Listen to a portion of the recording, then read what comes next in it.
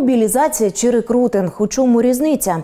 Кого нині найбільше потребують сили оборони та де шукати свою вакансію у Національної гвардії України? Це програма «Шах і мат». Мене звати Олена Федоренко. На ці питання сьогодні будемо шукати відповідь разом з гостем моєї студії. Це начальник служби мобілізаційної роботи військової частини 3036 Костянтин Акулов.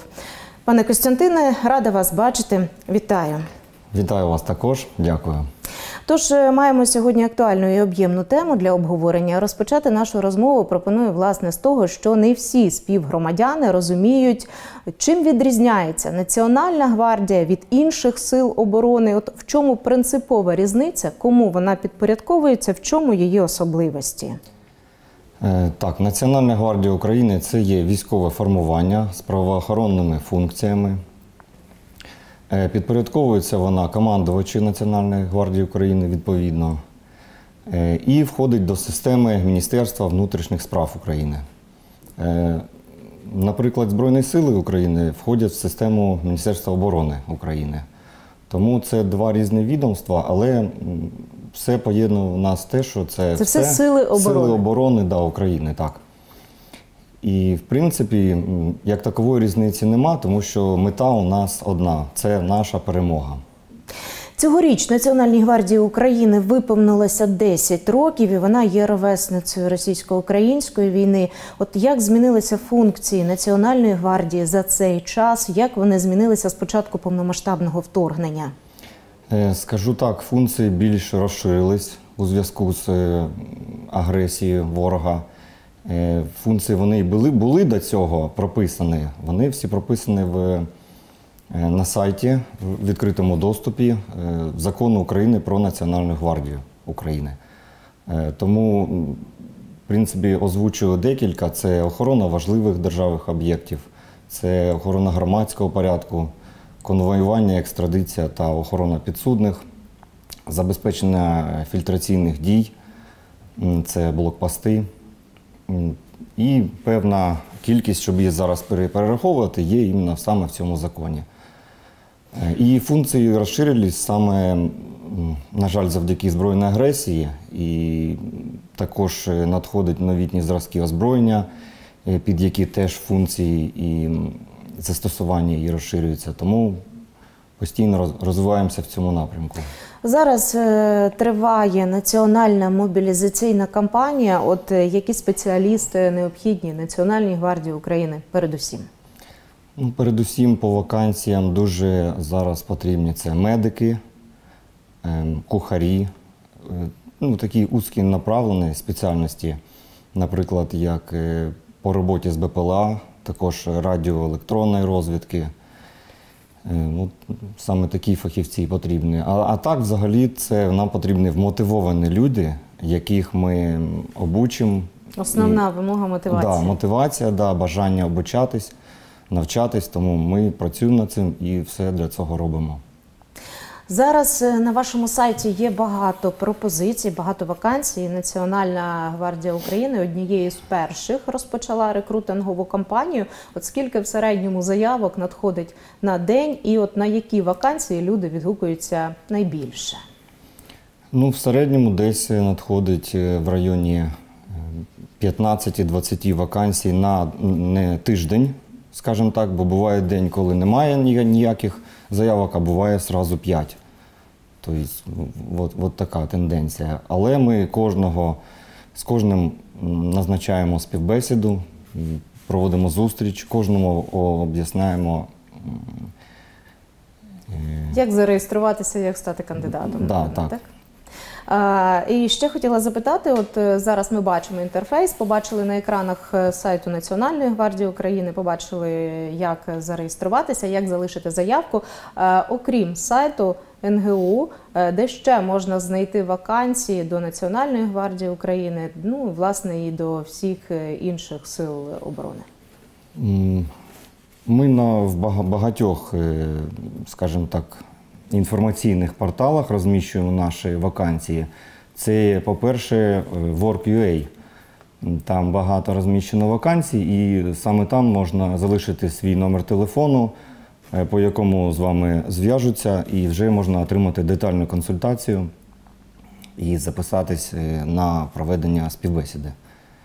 Пане Константине, от які основні вимоги до людей, які хочуть долучитися, доєднатися саме до лав Національної гвардії України? От які пріоритети, які обмеження, на чому би ви тут акцентували? Ну, по-перше, це стан здоров'я, щоб була можливість е, витримувати фізичні навантаження.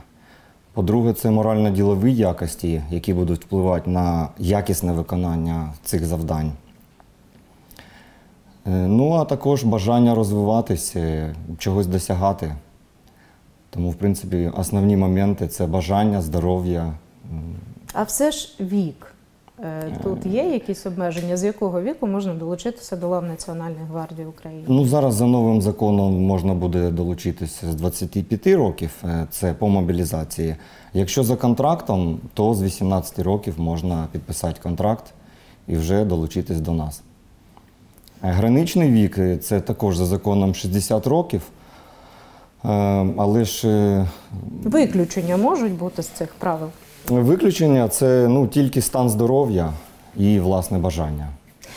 Чи може бути так, що людина за рекрутингом відгукнулася на певну вакансію, а їй пропонують іншу посаду? Чи як це взагалі відбувається? Е, Якщо, наприклад, е, ми провели співбесіду, визначили, що, наприклад, це водій, а на даний час вакантна посада ця е, зайнята, то ми запропонуємо йому іншу, більш легку посаду, на яку він буде проходити службу до моменту її звільнення і встановлення вакантної тієї посади водія. Ще таке питання в мене виникло: от бажання чоловіків і жінок. Чи можна якось нести службу саме в лавах Національної гвардії України? Чи можна це якось відсотково вирахувати? І от чи стало більше претенденток до лав НГУ зараз з початком повномасштабного вторгнення? Якою є тут ситуація? Е, Ну, ми намагаємося зараз жінок е, тільки за власним бажанням до нас набирати. Е, Так примусово зараз немає, але що кажучи відсотково, то це десь 5% жінок на, на 95 чоловіків в Національній гвардії зараз проходить. Е, Тому, якщо за власним бажанням, і це є фахівець якийсь іменно, який нам потрібен, наприклад, медики, то ми Кухарі, ви сказали, кухарі, медики. медики, да, да, да, так, так. А от е, окрім цих посад, які посади ще обирають жінки, і е, це переважно тилові посади чи не тільки? Не тільки є такі випадки, що і жінки виїжджають на бойові дії разом з чоловіками е, приймають участь у бойових діях. Тому ну так же ж і кухарі треба ж готувати е, на передовій. Тому, в принципі, зв'язківці, медики, які надають допомогу. Тобі ж е, діловоди. Ну, більше, звісно, тилові посади для жінок пропонуємо, але якщо в них є власне бажання і мотивація відправитись е, на бойові дії, то ми не заперечуємо. Е, Чи правда, що якщо ти йдеш на певну посаду за рекрутингом, і навіть якщо це тилова посада, то все рівно обов'язково людина має пройти певну військову підготовку? Так, і, а вже ж, якщо раніше людина не проходила військову підготовку, вона в обов'язковому порядку е, направляється на базову військову підготовку. Е, Вона триває 30 діб орієнтовно, і вже після проходження цієї підготовки е, людина, вже обираючи свій напрямок е, подальшої служби, направляється на відповідний фаховий, е, фахове навчання. Тобто військова підготовка є до будь-якої До будь-якої, так. обов'язковою вимога. Так, це полегшить навіть його військовослужбовця, полегшить його службу. Він буде знати і орієнтуватись е, у військовій сфері. Е, От е, чи можуть людину, яка відгукнулася на певну вакансію, потім перевести зовсім на іншу посаду, на іншу ділянку фронту, надати їй зовсім іншу спеціальність? Чи може бути це так статися з часом? Е, По-перше, це за власним бажанням, якщо вона хоче розвиватися або захоче змінити свій напрямок е, служби. Але якщо ви от запитали, що повністю не за її бажанням, ну скажімо так, е, зараз іде війна, і у разі загострення ситуації на фронті, то Не все від нас залежить. не все від нас залежить, так. Ми всі готові поїхати туди і виконувати бойові завдання. Ну, власне, якщо людина за рекрутингом хотіла потрапити саме до лав Національної гвардії України, чи може статися так, що потрапить зовсім в іншу силову структуру? Е, Такі випадки бували у разі, якщо людина, е, от, відповідно е, закону України, вона не прийшла своєчасно в, до територіальних центрів комплектування та соціальної підтримки, не стала на облік, не оновила свої дані і чекає свого часу, як так сказати, коли повістку вручать. І вже настав час, що йому вручили повістку, і він е, хватається за голову, куди ж мені біжать, е, вспоминає, що в нього є е, хтось знайомий в Національній гвардії, да? Починає телефонувати, приходить, а він вже на бойовій повістці. В нього вже стоїть дата відправки в таку-то частину, він вже заформований. Тому от на даному етапі ми вже не можемо ніяк повлияти, тому що це рішення Генерального штабу Збройних сил України. Скажіть, пане Костянтине, от якщо прослідкувати, прокласти певний маршрут від заповнення е, заявки і до того, що буде відбуватися далі, який тут алгоритм? Е, При оформленні заявки з вами зв'яжуться наші рекрутингові групи, зроблять по телефону відповідну консультацію, запросять до, до нас на співбесіду, і вже під час співбесіди ми повністю поетапно розповімо кандидату, які його подальші дії. Е, Щоб він не ходив як сліпий кіт, скажімо так, а чітко ми об'ясняємо, куди йому звертатись. І ну, час десь, може, тиждень, може, все залежить від його стану здоров'я і як він швидко це зробить. Тому ми робимо максимально, щоб це було швидко. Чи може статися так, що відразу після військової підготовки людину можуть від... відправити на нуль? Е, Таке обговорюється спочатку під час самого рекрутингу. Тобі ж, якщо людина вмотивована, вона готова е, відправлятися на нуль, то е, все одно одразу вона туди не їде. Після підготовки 30 днів, ви сказали. Да, 30 днів. Потім десь е, мінімум в середньому 3 місяці вона буде ще до, ем, адаптуватись в підрозділі, е, скажімо так, дотачувати свої навики, а вже потім вона відправиться на бойові дії. Не раніше цього терміну 30 днів підготовки і 3 місяці, ви сказали. Так, але ж це опять-таки залежить від е, Ситуації. ситуації да, в державі. Е, Ще хотіла запитати, чи може людина за рекрутингом прийти до вас на певну розвідку, познайомитися з вакансіями, познайомитися з умовами подальшого проходження служби, ну а потім передумати і піти. І далі вже чекати своєї долі за повісткою. Так, бувають і такі випадки, і не поодинокі. Е, Приходять е, хлопці, дівчата, розвідали, узнали для себе. Можливо, їм ще якісь пропозиції на цей час вони для себе обирають. І буває, що не повертаються. Але буває так, що і потім подумали, вертаються. Тобі ж вся е, різні бувають випадки. Ми все одно чекаємо з усіма, з ким ми провели співбесіду, ми чекаємо і е, завжди на зв'язку. Е, Добре, тоді таке питання: а чи можуть дані людини передати до ТЦК? Чи може це так статися, що потім повістка прийде швидше? Ні, таким ми не займаємося. Ми, людина обирає свій шлях, тому з ТЦК ми співпрацюємо е, сугубо для призову іменно тих громадян, яких ми обрали, і вони йдуть до нас. Ну і власне, чи може людина передумати після ось цього вишколу курсу молодого бійця первинної військової підготовки, ну зрозуміти, що вона не розрахувала сили, чи там е, е, зі здоров'ям почали виникати певні проблеми? Чи можна піти після військової підготовки? Ну, якщо здоров'я, е, як ви сказали, не, не витягує він, да, то він направляється на військову лікарняну комісію, проходить перевірку. Якщо він дійсно за станом здоров'я він е, не тяне, то він звільняє, звільняється відповідно закону. Е, Якщо якісь десь морально-ділові навантаження, він також от, не тягне. Йому пропонується більш легка посада, даби адаптуватись, е, прийти в норму, і в нього нормальна була служба. Чи можуть до лав Національної гвардії України долучитися іноземні добровольці? Якщо так, то які особливості етапи приєднання для них?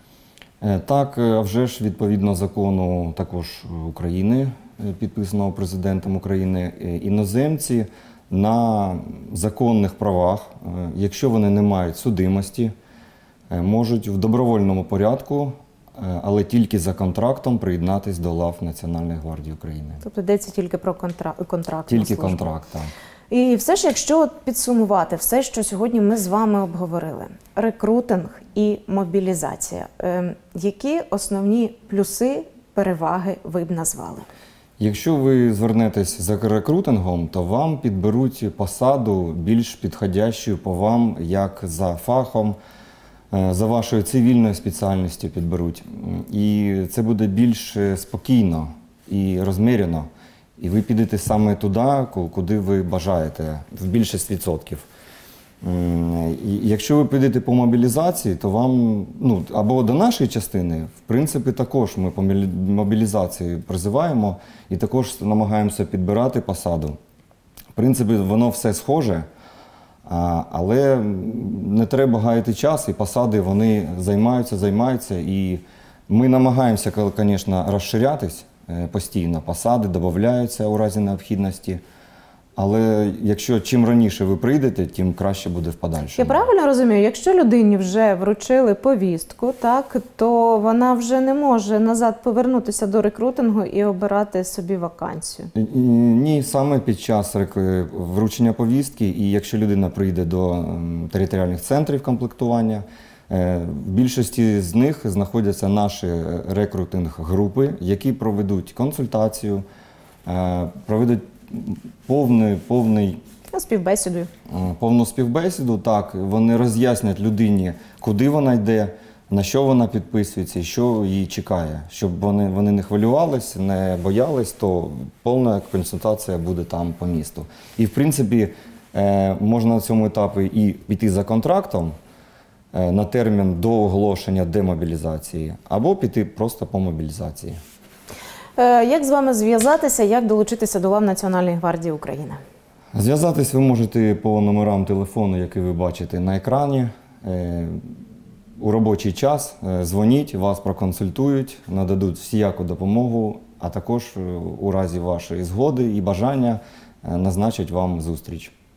Дякую вам е, за вичерпні відповіді. Дякую, що сьогодні до нас завітали. Але наостанок хочу вам запропонувати бліц, трішечки більше дізнатися про вас особисто, якщо не заперечуєте. Так, будь Починаємо. ласка.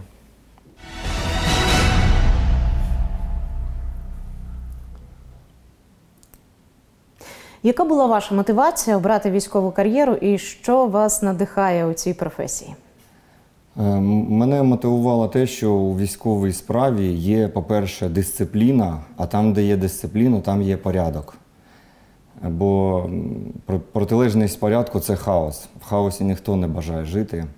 Також е, можливість постійно розвиватись, робити якусь корисну справу, е, тим паче в даний час в наш нелегкий, воно збільшується це відчуття корисності, яку робиш. для Скільки років ви вже на службі? Е, 14 років я на військовій службі. Чи є у вас якесь хобі, чи пов'язане воно якось зі службою? Так, воно з'явилось під час іменно проходження служби. Мені дуже сподобався саме спорт. Е, І що саме головне, що є можливість займатися спортом у робочий час. Е, В мирний час, звісно, дуже було багато часу для заняття спортом.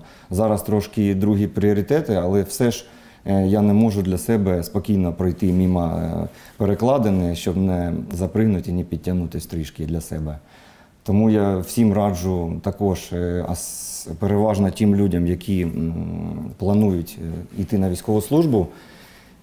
Я раджу вже починати займатися спортом, тому що це і ваша витривалість, і підняття вашого е, духу, і вам буде легше починати на проходженні загальновійськової базової підготовки. Як відчуваєте себе, якщо пропускаєте час для тренувань? Е, Відчуваю, а вже ж, е, скажімо так, не дуже. Я можу сказати, як відчуваю себе після тренування. Е, Піднятий дух це жага до життя і гарний настрій. Це важливо дійсно. От яку головну рису має мати офіцер мобілізаційної роботи? Ну, по-перше, це знання законів, е, щоб орієнтуватись е, в нинішній справі. По-друге, це комунікабельність, е, можливість донести людині ту інформацію, яка їм саме їй потрібна, щоб вона її розуміла, і саме ці основні головні риси їм потрібні. Зараз під час повномасштабного вторгнення яка найбільша цінність для військовослужбовця? Ну, я думаю, що це його родина і його життя. Тому, якщо військовослужбовець живий, здоровий, то його родина щаслива, і він щасливий. І це обороноздатність нашої країни. Е, На цій оптимістичній ноті будемо завершувати. Ми вичерпали ефірний час. Е, Дякую вам, пане Константине, що сьогодні завітали до нашої студії. Я нагадаю, Костянтин Акулов, начальник служби мобілізаційної роботи військової частини 3036 Національної гвардії України, сьогодні був в гостях у нашій студії. Дякуємо, що нас дивилися. До зустрічі у наступних випусках.